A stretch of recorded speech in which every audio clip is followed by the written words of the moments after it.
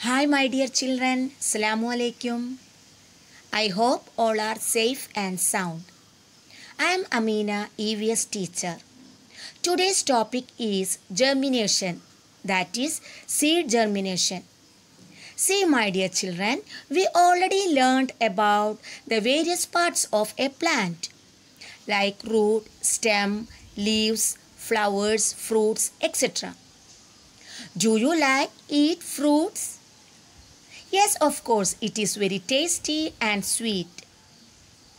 When we eat a fruit, for example, orange or an apple, we can see seeds in them. So, we can study about what is a seed, what is the importance of a seed and structure of a seed. Structure of a seed. The outer covering of a seed is known as seed coat. Inner part of a seed is an embryo. Embryo has two parts that is two cotyledons and a growing plant. The food necessary for the growth of embryo is stored in cotyledons so it is fleshy. The growing plant has two parts, plumule and radicle. The radicle will become root and the plumule will become stem.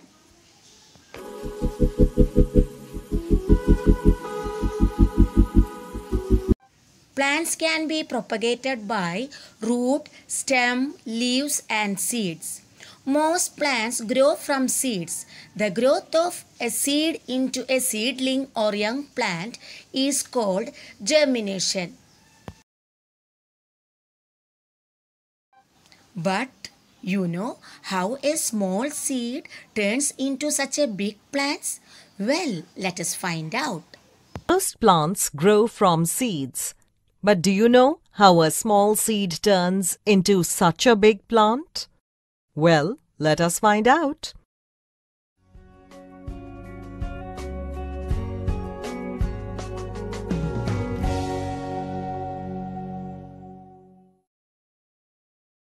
The process by which a seed that is getting all the suitable conditions grows into a plant is called germination. When we say suitable conditions, we mean all the things needed by a seed to germinate and those things are water, warmth and air. Each seed has a tiny baby plant called embryo inside it. Once a seed gets water, warmth and air, the embryo literally wakes up and starts growing to form a baby plant. You might wonder that from where this baby plant gets food to grow. Well, the cotyledons of the seed are actually storehouses of food for the baby plant. The baby plant starts to grow and the first part to emerge from it is called the radicle. It slowly starts growing in the downward direction. Next, the plumule emerges out from the embryo and starts growing in the upward direction. The radicle develops to form the root system of the plant, while the plumule gives rise to the shoot system bearing the leaves and branches of the plant. This plant is now called a seedling. The cotyledons keep providing food to the seedling until the leaves formed start making food for the plant. Then there is no stopping. The plant keeps growing to give rise to flowers, fruits and more seeds.